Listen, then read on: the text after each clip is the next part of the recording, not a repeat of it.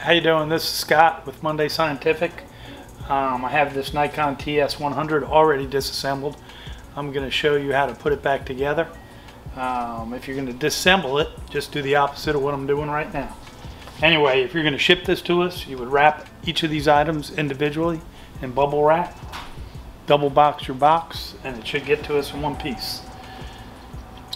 Three millimeter screws hold the trinocular or binocular head on.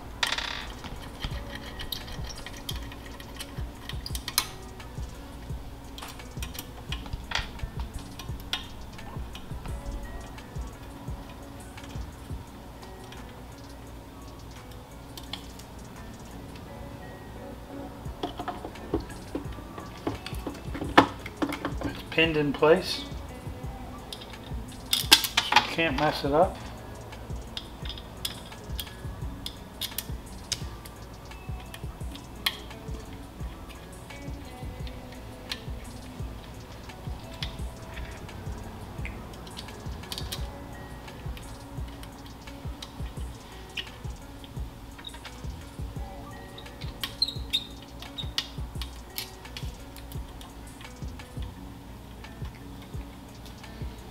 There's the head.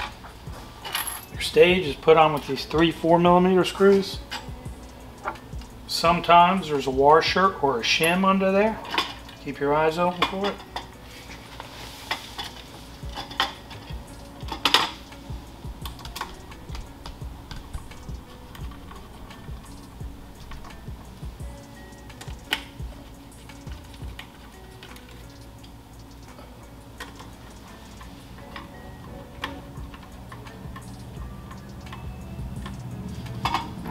Plug in the light source.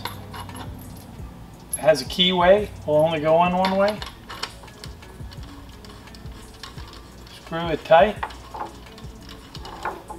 Power cord.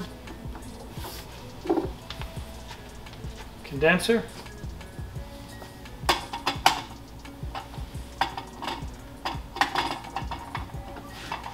Little thumb screw. Locks it in place. Phase rings.